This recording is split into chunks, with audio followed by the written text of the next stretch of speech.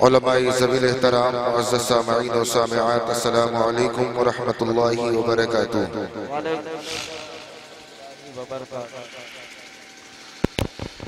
अल्हम्दुलिल्लाह, अल्हम्दुलिल्लाहि रब्बिल आलमीन वल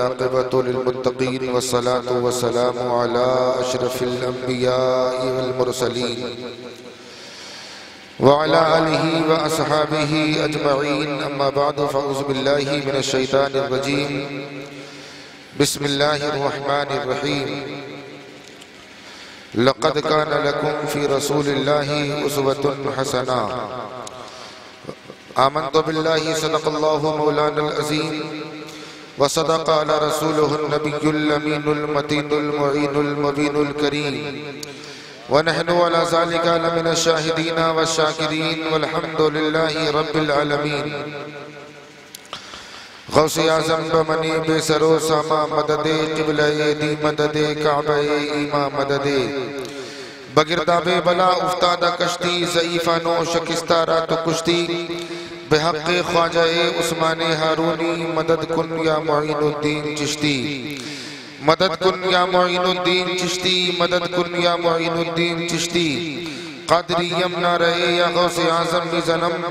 दम शेख अहमद रजा खां कुतुब आलम की जन्म। आगे हम और आप कुछ गुफ्तो शुनी से पहले बेहतर और मुनासिब ये समझता हूँ आका इनामदार मदीने के ताजदार, दोनों आलम के मालिक मुख्तार नाइब परवरदिगार, रूह फिदा, जनाब मोहम्मद सल्लल्लाहु अलैहि वसल्लम की मुकद्दस बारगाह में हम इसलिए दरूद पाक पढ़ें कि आका ने फरमाया, मा मिन अबदिन युसल्ली अलैया इल्ला बलगनी सौतो है तकाम मेरे आका फरमाते हैं कि रूए ज़मीन के जिस खत्ते में भी बैठकर रूए ज़मीन के जिस कोने में भी बैठकर मेरा चाहने वाला गुलाम, मेरा चाहने वाला मेरा उम्मती मुझ पर दरूद पाक पढ़ा करता है।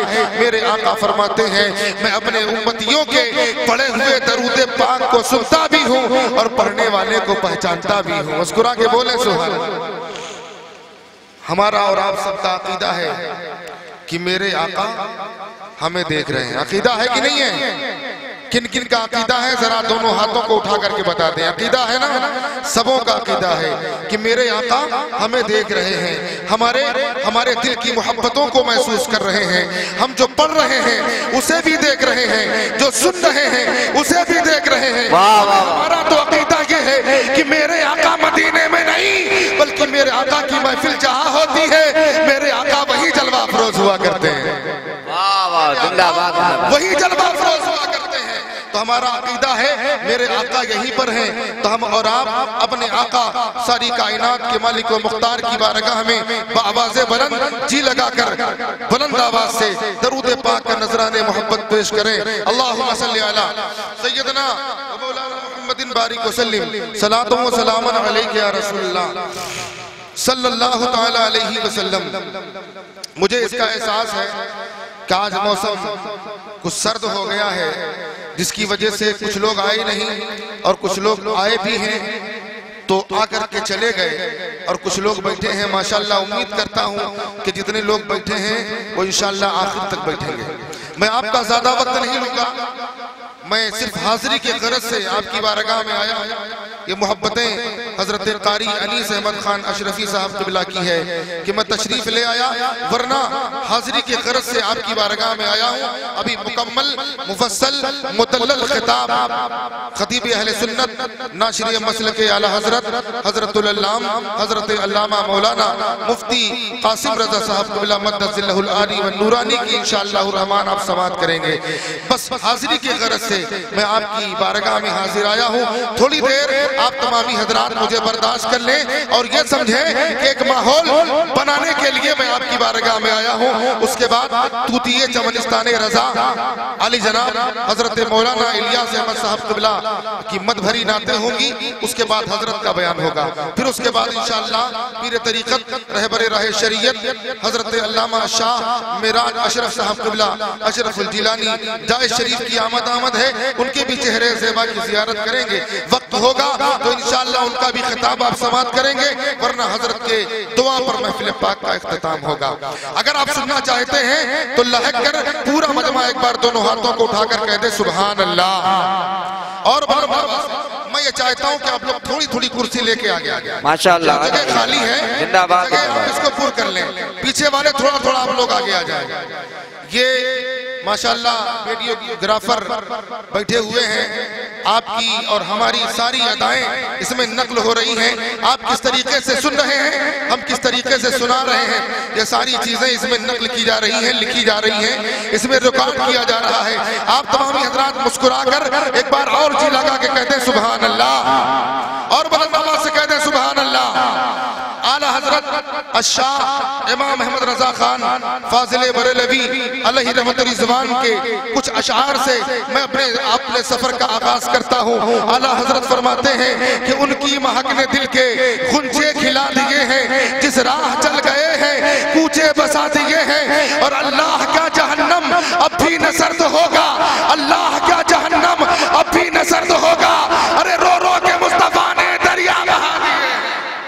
रो रो के मुस्तफ़ा ने दरिया बहा दिए हैं और आला वाह वाह वाह कि नेमतें बांटता जिस जिस समत वो जीशान गया। के बोले सुभान अल्लाह नेमतें बांटता जिस समत वो जीशान गया। साथ ही मुंशिए रहमत का कलम दान गया। और आज ले उनकी बना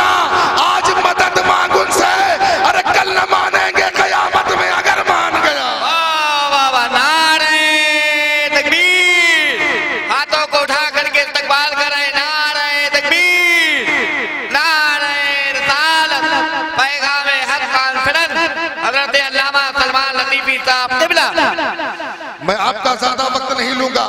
मैं अल्लाह रब्बुल इज़्ज़त की बारगाह में सिर्फ़ दुआ करूँगा, मौला। इस महफिल पाक को सजाने में, जिन जिन लोगों ने दामे दिल में कदम सुखरे जिस कदर भी हिस्सा लिया, मालिक मौला, उनकी नेक और जायज़ तमन्नाओं को पूरी फरमा। हमारे कारी अली साहब, किबला की मेहनतों, मशक्कतों को मौला तो अपनी बारगाह में कबूल फरमा। अल्लाह ताला कुरान मुकद्दस में इरशाद फरमाता है, लक़द कान लकुम फ़ी रसूलिल्लाहि उसवतुन हसना। आज जो ये महफिल सजाई गई है, पैगाम हक कॉन्फ्रेंस वो इसलाह के तहत इस महफिल पाक को रखा गया है। चंद बातें इसी के ताल्लुक से आपकी बारगाह में पेश करके अपनी जगह लेना चाहता हूँ। अल्लाह ताला कुरान मुकद्दस में इरशाद फरमाता है, तहकीक की नबी पाक की ज़िंदगी तुम्हारे लिए बेहतरीन नमूना है। मुस्कुरा के बोले सुबह अल्लाह नबी की ज़िंदगी तुम्हारे, हमारे सबके लिए a बेहतरीन नमूना है। एक बेहतरीन मशअले राह है। एक बेहतरीन नमूना है। हजरात, ज़्यादा आपका वक्त न लेकर मैं नमूना समझाना चाहता हूँ। नमूना कहते किसे है? आखिर नबी की ज़िंदगी हमारे लिए नमूना कैसे है? ये नमूना क्या है? नमूना कहते किसे है? और किस तरीके से हम इस नमूने को इस्तेमाल करें? अगर हम जानेंगे नमूना किसे कहते हैं, तभी तो हम इस्तेमाल करेंगे। अगर जानेंगे नमूना है क्या चीज़? नमूना कहते किसे है? तभी तो हम अमल करते नज़र आएँगे। आओ, मैं नमूना बताऊँ किसे कहते हैं। अल्लाह फरमाता है, नबी की ज़िंदगी हमारे लिए एक बेहतरीन नमूना है। अपने हिसाब से मैं नमूना की तारीफ़ करना चाहता हूँ, एक मिसाल देना चाहता हूँ। आओ, मैं आपको बताऊँ ये सिधियामा की मुकद्दस सरजमीन है। यहाँ पर अच्छे अच्छे घर बने हुए हैं। यहाँ पर बेहतरीन से बेहतरीन उम्दा से उम्दा घर बने हुए होंगे। एक घर वो होगा जो नक्शे के एतबार से बनाया गया होगा। और एक घर ऐसे भी इसी गाँव के अंदर होंगे कि जो नक्शे के एतबार से नहीं बल्कि इसी तरीके से बना लिया गया होगा। एक नमूने के एतबार से ज़मीन को दिखाया गया। ज़मीन नापी गई नक्शा तैयार किया गया। उसी नक्शे के एतबार से उस घर को तरतीब दिया गया है। घर को बनाया गया है। अरे एक घर वो भी है जो बगैर नक्शे के बनाया गया है। घर दोनों है। वो भी घर है जो नक्शे के एतबार से बनाया गया। वो भी घर है जो बगैर नक्शे के बनाया गया। हर दोनों कहलाते हैं। लोग रहते उसमें भी हैं, जो नक्शे के अतबार से बनाया गया। लोग रहते उसमें भी हैं, जो बगैर नक्शे के बनाया गया। घर दोनों है कि नहीं है? लेकिन दोनों घरों में फ़र्क है। दोनों घरों में फ़र्क है। रहते तो दोनों घरों में लोग लेकिन दोनों घरों में फ़र्क है। आप कहेंगे, फ़र्क कैसे? मैं कहूँगा, फ़र्क इसलिए, जब लोग देखने आएँगे ना तमाम घरों को देखेंगे नक्शे के बनाया गया बगैर नमूने के बनाया गया। खराब तो कोई नहीं कहेगा लेकिन जब उस घर पे नज़र पड़ेगी जो घर नमूने के एतबार से बनाया गया है नक्शे के एतबार से बनाया गया है अच्छे तरीके से तरतीब दिया गया है लोग उस घर को देखेंगे तो उस घर की तारीफें करते नज़र आएँगे और कहेंगे यार क्या ही अच्छा घर बना है क्या ही शानदार घर बना है। जवाब मिलेगा अरे घर अच्छा बनता कैसे नहीं?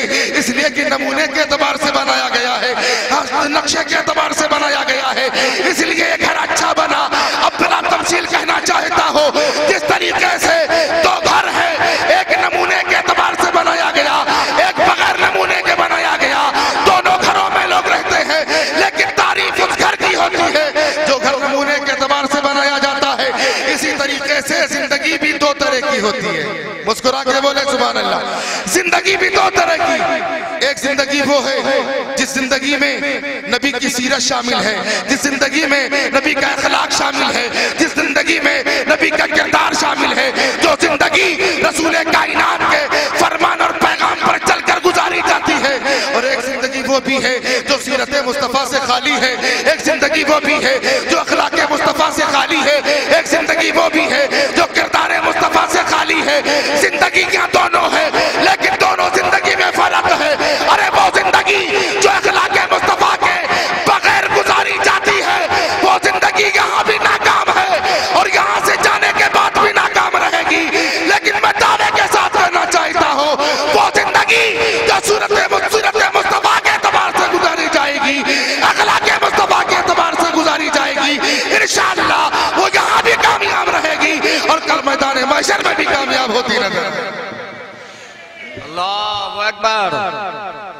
या रसूल अल्लाह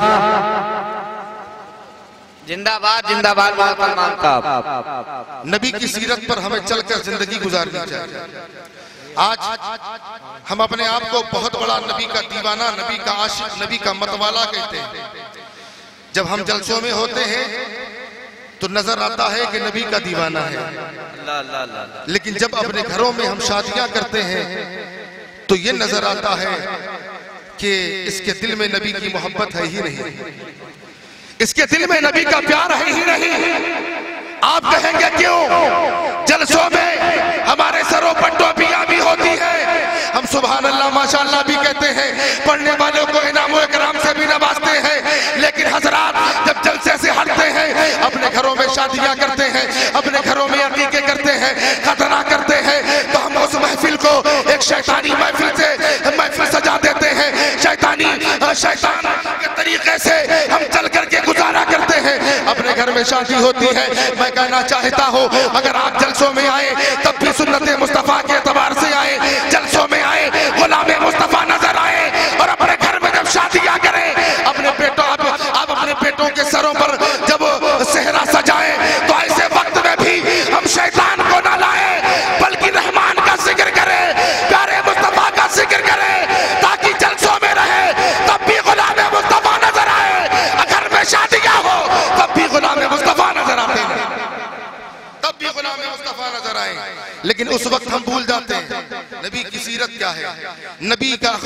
था? नबी का किरदार क्या था? नबी का पैगाम क्या था? आओ ज़्यादा मैं आपको तफसील में नहीं ले जाना चाहता। मैं सिर्फ़ इतना बताना चाहता हूँ, आज परेशान हम हैं। चार जानी से परेशानी ने हमें घेर रखा है। हम रोज़ाना कमाते हैं, लाखों रुपया महीनों में कमा लेते हैं। लेकिन हर घर की यही परेशानी है, हर गाँव की यही परेशानी है, हर घर का यही रोना है कि कमाता तो बहुत हूँ, लेकिन बरकतें नहीं होती। आमदनी बहुत होती है, लेकिन बरकतें नहीं होती हैं। इधर से पैसा आया नहीं, उधर से कैसे निकल गया मालूम नहीं चलता। सारे घरों की परेशानी है, लेकिन सबसे बड़ी परेशानी तो ये है कि जब हमारे घर में इस तरह की परेशानियाँ होती हैं तो हम मस्जिदों का रुख नहीं करते। सीरत मुस्तफ़ा हमारे अंदर है हम ये नहीं देखते। हमारे घर में कुरान की तलावत होती है। हम इस पर नज़र नहीं करते। हमारे घर में बेबरकती है। तो हम हम सफ़र करते हैं। कहीं लखनऊ का, कहीं दिल्ली का, कहीं किस बाबा के पास, कहीं किस बाबा के पास। और चले जाते हैं। कहते हैं, मौलाना साहब, मौलवी साहब, मामला ये है। हमारे घर में बरकतें नहीं होती। आमदनी तो बहुत होती है। बेबरकती है। बरकत नहीं होती।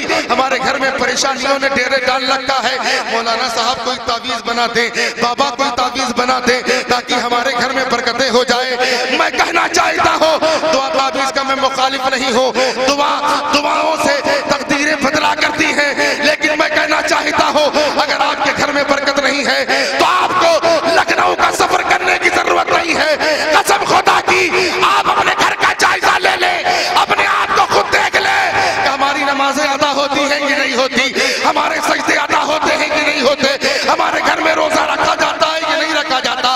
हमारे घर में कुरान की तलावत होती है कि नहीं होती? हमारे घर का माहौल दीनी माहौल है कि नहीं है? इस्लामी माहौल है कि नहीं है? कसम खुदा की, अगर माहौल इस्लामी ना हो, नमाजें कजा हो रही हो, सजदे कजा हो रहे हो, सीरत मुस्तफ़ा पर अदायगी ना होती हो तो कसम खुदा की, इन तमाम चीज़ों को अपना ले। किसी बाबा के पास जाने की ज़रूरत नहीं है। इंशाअल्लाह तुम्हारे घर में बरकतें भी आएगी, तुम्हारे घर से तमाम परेशानियाँ भी दूर वाह जिंदाबाद। नारे तकबीर। नारे रसालत बस आखिरी बात सुन लें आप। इसलिए कि वक्त नहीं, मैं तकरीर करने के लिए नहीं आया। तकरीर मुफ्ती साहब के बिला इंशाल्लाह होगी। नबी की बारगाह एक बार कर पूरा मजमा कहते सुबह अल्लाह हाँ तो अपने दोनों हाथों को उठा के कहते सुबह अल्लाह नबी की बारगाह है। नबी एक सहाबी आए और आने के बाद अर्ज़ करते हैं, या रसूल अल्लाह सल्लल्लाहु अलैहि वसल्लम, या रसूल अल्लाह मैं बहुत परेशान हूँ, बहुत परेशान हूँ, बहुत ज़्यादा परेशान हूँ, या रसूल अल्लाह मेरे आका फरमाते हैं अय मेरे सहाबी, परेशानी की वजह क्या है? तो जानते हो सहाबा ने, नबी की बारगाह में उस सहाबी ने कहा था, या रसूल अल्लाह परेशान इसलिए हूँ कि मैं कमाता बहुत हूँ, आमदनी बहुत होती है, या रसूल अल्लाह लेकिन हमारे घर में बरकत नहीं होती, बेबरकती ने हमारे घर में डेरे डाल रखा है। परेशानियाँ हमारे घर में आ गई है। मुसीबतें हमारे घर में आ गई है। या रसूल अल्लाह कोई ऐसा अमल बता दे, कोई ऐसा नुस्खा बता दे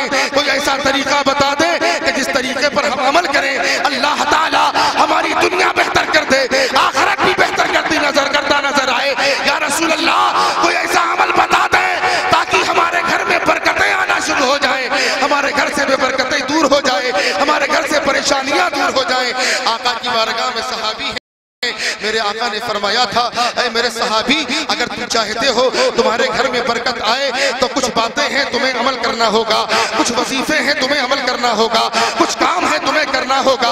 ऐ मेरे सहाबी, क्या अमल करोगे? मेरे आका के सहाबी ने कहा था, या रसूल अल्लाह मेरे घर में बरकतें आ जाए, मैं हर काम करने के लिए तैयार हूँ। या रसूल अल्लाह आप बताएँ तो सही, आखिर वो कौन सा काम है? आप भी सुनना चाहते हैं? सुनना चाहते हैं? मेरे आका ने कौन सा काम बताया? और दुआ करता हूँ हमें मौला हमें इन तमाम बातों पर अमल करने की तौफीक अता फरमाए। मेरे आका ने फरमाया था, ए मेरे सहाबी, अगर चाहते हो तुम्हारे घर में बरकत आ जाए, अगर चाहते हो तुम्हारे घर में, तुम्हारे घर से आफतें दूर हो जाए, तुम्हारे घर में बेबरकतें हैं, बेबरकतें दूर हो जाए, अल्लाह की रहमतें नाजिल हो जाए तो ए मेरे सहाबी, तुम्हें तीन काम करने होंगे। कितने काम? मुस्कुरा के बोले, कितने काम? तीन काम करने होंगे। साहबी ने कहा रसूलुल्लाह आखिर वो तीन काम में पहला काम कौन है? पहला काम तवज्जो आपकी चाहता हूँ आप सुन लें और अमल करने की कोशिश करें। मेरे आका ने फरमाया अय मेरे सहाबी तीनों में से पहला काम ये है जिस पर तुम्हें अमल करना है और अमल करोगे तो अल्लाह ताला तुम्हारे घर से बेबरकती को दूर करके बरकतें नाजिल फरमाएगा रहमतें नाजिल फरमाएगा। मेरे आका ने फरमाया अय मेरे सहाबी पहला काम ये है सलाम करना मेरी सुन्नत है। तुम सलाम को आम किया करो। सुबह अल्लाह क्या करो? सलाम को आम करो। आज हम यहीं पर बहुत पीछे हैं। हम सलाम करना नहीं जानते। जबकि सलाम करना मेरे सरकार की सुन्नत है। क्या है? मेरे सरकार की सुन्नत है। लेकिन आज हम इससे बहुत दूर। हम सोचते गए हैं कि यार हम सेठ है, सेठ। हम इतने बड़े सेठ होकर हम गरीब को कैसे सलाम करें? हम बड़े हैं, छोटे को कैसे सलाम करें? मेरे आका ने फरमाया है मेरे साहबी, सुनो, तुम सलाम को आम करो। आका के साहबी ने अर्ज़ किया था, हुजूर, सलाम को कैसे आम किया जाए? तो मेरे आका ने फरमाया है मेरे सहाबी, तुम अपने घर से निकलो। रास्ते में तुम्हें कोई मोमिन भाई मिल जाए तो तुम उससे मोहब्बत से सलाम कर लिया करो। सुबह मेरे आका ने ये नहीं फरमाया कि तुम अमीर हो अमीर मिले ही तो सलाम करना। गरीब हो गरीब मिले तो सलाम करना। बड़े हो बड़ा मिले तो सलाम करना। छोटे हो बड़ा मिले तो सलाम करना। नहीं मेरे आका ने ये नहीं फरमाया बल्कि आका ने ये फरमाया तुम्हें मोमिन मिल जाए तो तुम उससे सलाम लिया करो। अब बड़े हो गरीब गरीब अमीर हो तुम। गरीब मिल जाए तो उससे सलाम कर लो। इसलिए कि सलाम करना मेरे आका की सुन्नत है। अगर तुम बड़े हो छोटा मिल जाए उससे भी सलाम कर लिया करो। ताकतवर हो कमज़ोर मिल जाए तो उससे भी सलाम कर लिया करो। कसम खुदा की कोई बड़ा है अगर हम छोटे हैं हमने उससे सलाम कर लिया। हम बड़े हैं हमने छोटे से सलाम कर लिया। छोटा अगर बड़े से सलाम करता है तो ये आदम में शुमार किया जाएगा। और अगर बड़ा छोटे से सलाम करता है तो शफकत में शुमार किया जाएगा। वाह वाह वाह। तो उसकी शफकत है कि छोटे से सलाम किया। मेरे आका ने फरमाया, सलाम को आम करो। मेरे सहाबा पहुँचे, सलाम को आम किया, आका की बारगाह में या रसूल अल्लाह मैंने रास्ते में सलाम किया, अब मैं क्या करूँ? तवज्जो है आपकी? मेरे आका ने फरमाया, जब तुम घर लौटो तो अपने घर वालों को सलाम कर लिया करो अल्लाह। अपने घर वालों को सलाम कर लिया करो। घर में बेबरकती है आप इस पर अमल करें। इंशाअल्लाह अल्लाह रहमतों बरकत का नजूल फरमाएगा। मेरे आका ने फरमाया घर में दाखिल हो तो घर वालों को सलाम कर लिया करो। आज का। मुसलमान यहीं पर बहुत दूर है बहुत पीछे है। हम घर में जाते हैं सलाम नहीं करते। क्यों? इसलिए कि हमें शर्म महसूस होती है। अगर कोई पूछता है भाई घर के अंदर जाते हो सलाम करते हो कि नहीं? तो जवाब मिलता है क्या करूँ? सलाम कैसे करूँ? यार घर में मेरी बीवी है भला बीवी से सलाम किया जाता है। बच्चे हैं बच्चे से सलाम किया जाता है। घर में छोटे छोटे बच्चे हैं, मैं कैसे सलाम करूँ? मुझे शर्म महसूस होती है, लेकिन मैं कहना चाहता हूँ, सलाम मेरे आका की सुन्नत है, और आका का पैगाम है, सलाम को आम करोगे, अल्लाह तुम्हें कामयाबी अता करेगा। मैं दावे के साथ कहता हूँ, तुम शर्म को बलाए ताक रख कर अपने घर के अंदर जैसे ही दाखिल हो, तुम घर वालों को सलाम कर लिया करो करो आपकी बीवी सामने है। अस्सलाम वालेकुम व रहमतुल्लाह बेटा सामने आ गया। अस्सलाम वालेकुम बाप सामने आया। अस्सलाम वालेकुम माँ सामने आई। अस्सलाम वालेकुम जो जो भी सामने आए तुम उससे सलाम कर लो। लेकिन ये बतावे के साथ कहता हूँ एक दिन आपने सलाम किया है दूसरे दिन आप जब दाखिल होंगे दूसरे दिन भी आप जब सलाम करेंगे ना जब दो दिन आपका ये गुजरेगा तो मैं दावे के साथ कहता हूँ जब तीसरा दिन होगा तो आपको सलाम करने की ज़रूरत नहीं होगी आपकी बीवी आपके इंतज़ार में होगी आपका बेटा आपके इंतज़ार में होगा। आपकी बेटी आपके इंतज़ार में होगी। आपके माँ बाप आपके इंतज़ार में होंगे। भाई बहन आपके इंतज़ार में होंगे। यही सोच रहे होंगे कि दो दिन वो आए थे, उन्होंने सलाम किया था। आज उन्हें सलाम करने का मौका नहीं देना है। सारे लोग पढ़ करके पहले सलाम करेंगे। इंशाअल्लाह आपने दो दिन सलाम किया है। तीसरे दिन आपके पूरे घर वाले सलाम करना शुरू कर देते हैं। इंशाअल्लाह आप जब नबी की सुन्नत पर अमल करोगे आपके घर का सुधरेगा आपके घर में इनकलाब पैदा होगा। इन आपके घर से तमाम पर तमाम बेबरकती भागती नज़र आएगी। और अल्लाह ताला इसकी बरकत से हमारे घर में रहमत बरकत का नजूल फरमाता है। वाह वाह वाह लेकिन ये जिंदाबाद ये हमसे नहीं हो पाता। हमें और आपको चाहिए, हम रसूल कायनात सल्लल्लाहु अलैहि वसल्लम की प्यारी प्यारी सुन्नतों पर अमल करें और अमल करके ज़िंदगी गुजारें, ताकि हमारी ज़िंदगी में इनकलाब पैदा हो जाए, हमारे घर में इनकलाब पैदा हो जाए, हमारे माशरे में इनकलाब पैदा हो जाए। जब नबी की सीरत पर अमल करोगे तो इंशाअल्लाह हम यहाँ भी कामयाब होंगे, वहाँ भी। मेरे आका ने दूसरी बात फरमाया कि माँ बाप की खिदमत करो। तीसरी बात मेरे आका ने फरमाया, अगर बेटी तुम्हारे यहाँ अल्लाह नाजिल कर दे बेटी अगर तुम्हें अता कर दे तो बेटी की पैदाइश पर नाराज़ मत हुआ करो, बल्कि खुशी का इजहार किया करो। इसलिए कि बेटियाँ तुम्हारे लिए जहमत नहीं होती, बल्कि आती है तो रहमत बन करके आती है। बस मेरी चंद जुमलों के साथ करता हूँ। अल्लाह की बारगाह में दुआ करता हूँ। परवरदिगार आलम, मुझसे बोलने में, कहने में, अगर किसी किस्म की खताएँ लगिशें हो गई हो बार अपनी रहीमी करीमी की सदक़े माफ़ फरमा। अस्तगफिरुल्लाह रब्बी, मिन कुल्ली ज़ंबी व अतूबु इलैहि। व आखिरु दअवाना अनिल हम्दुलिल्लाहि रब्बिल आलमीन। अस्सलामु अलैकुम व रहमतुल्लाहि। सुभान अल्लाह सुभान अल्लाह ये थे